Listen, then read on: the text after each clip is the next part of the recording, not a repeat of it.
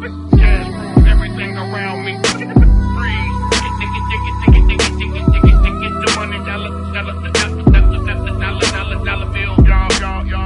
Hey, good evening, trading addicts. Welcome to the weekly watch list. This is your host, Jeff Kohler, aka Option Addict, from over at www.tradingaddicts.com. Also tabbed blogger over at ibankcoin.com. Hey, we haven't done one of these in a little while, uh, just because we've been kind of switching up the format with some of the new services, but uh, we'll be getting back to these uh, as we move forward. really quickly, uh, I think it's going to be a really important week ahead. Uh, I mentioned this in the blog, but if you if you have a little bit of uh, paid time off available, you might want to consider taking it in the upcoming week. Here's the thing. So, you know, markets have been down and, uh, you know, little, little volatile, especially in the higher risk groups like the Russell and the NASDAQ. They've been uh, a little bit weaker than most. Uh, pretty much all month, we've seen a rotation out of momentum stocks. So, whether it's your, your solar names or whether it's your Chinese internet stocks, whether it's your social media stocks, you know, like the Groupons, Yelp, LinkedIn, Facebooks, things like that. Uh, there's been kind of a negative divergence going on there. And that's the relationship that we spent a lot of time talking about last week.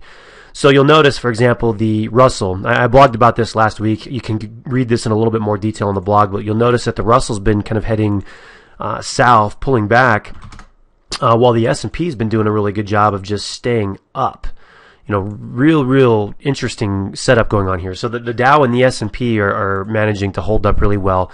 The Nasdaq and the Russell have been a little bit weaker. That was up until Friday, uh, when the market did put together its rally. Uh, we had talked about how it would be important to see whether or not this weakness in the Nasdaq and the Russell gets bought. And performance wise, the Russell was up about 2% most of the day, about one and a half to one and three quarters percent, while everything else was up only about a half a percent. So they they did load back up into um, you know higher risk stocks. The thing is though is what we really got to keep an eye on. What's been one of the most comical trades over the last several years has been the the bear trap. So what happens is when you when you break down beneath a range like this, uh, the bulls take things right back up. So down here you trap a few bears, you rip them right back up, and then we end up going to new highs. There's a, there's a couple of things that I think we need to watch to make certain of that. But uh, one thing's for sure is that in regards to the Russell and the Nasdaq, these instruments have to hold up better. Uh, than they have been in the past. So even if we come back down to the lows, so breadth on Friday was not great uh, wasn't supportive of as as sharp of a move as we saw. But let's say if the market continues to weaken a little bit, we want to make sure that the Nasdaq and the Russell don't get anywhere back down towards those highs. The S and P and the Dow they, they can they can go down, test their lows, take out their lows, but it'll be important to see a positive divergence where the Russell and the Nasdaq don't perform as weak as they have been in the past. And one of the critical components of all this, I think, is going to be these social media stocks. So off of the the Twitter IPO, which I've, I've got I've got kind of an opinion on, which we'll talk about. Um, we have talked about, and we'll, we'll talk about more as the week wears on. I want to use LinkedIn as a as a template of what you want to watch this week. So you'll see that LinkedIn did this earlier in the year. You know, it, it looked like it was topping out um, over over a several month period, broke down didn't really get a whole lot of interested sellers there and then ripped up to new highs. So right now we see this going on in LinkedIn, we see it going on in Yelp, uh, but we've gone to multi-month lows in these stocks. If they are, if they manage to get back up into those ranges, you know, we look back, this ends up being a bear trap. These stocks rip, and everybody's going to start thinking, okay, well, these stocks have been down for so long, it makes them more attractive. There's a buy opportunity in momentum names again, and they, they take them higher. LinkedIn, uh, Yelp is another really good example of that. You know, same same situation where uh, the low the lows get taken out and we reject and reverse and, and prices ripped on some pretty good volume. So these all happen to be some of my favorite ideas for the week. So we'll take Yelp, we'll take LinkedIn. Uh, I also want to take that to solar stocks as well. You guys know I, I have a fetish for First Solar right now, all the way up until 100. Um, I also like SOL. Uh, I love JASO, and I'm going to start getting back on my call to uh, of YGE goes to 10 and this might be one of the best prices to get it at before that happens.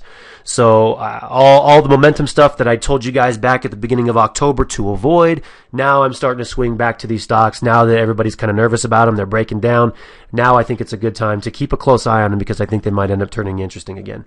Uh, we've also been well out in front of the materials trade. So dips in, in us steel and clf and ANR and WLT are my favorites. And all these stocks that we're talking about tonight, this basically serves as my my Christmas wish list. These are these are the stocks I want to take with me to year end.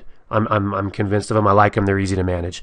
Um, and then a few other players. Last but not least, we'll look at uh, Pandora. That's one I, I, love the way that it's setting up. Uh, Groupon, which I took a position on in on Friday and as well as all the remaining positions that I have on, you know, like CZR, the, the housing stocks, all those to me still look very, very attractive.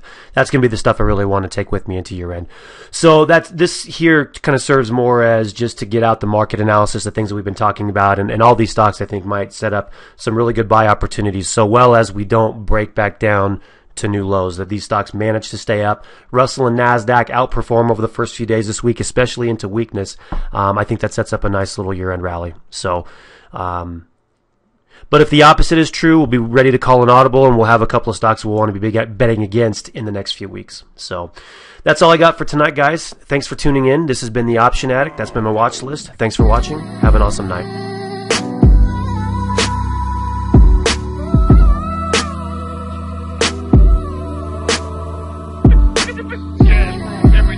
Around me.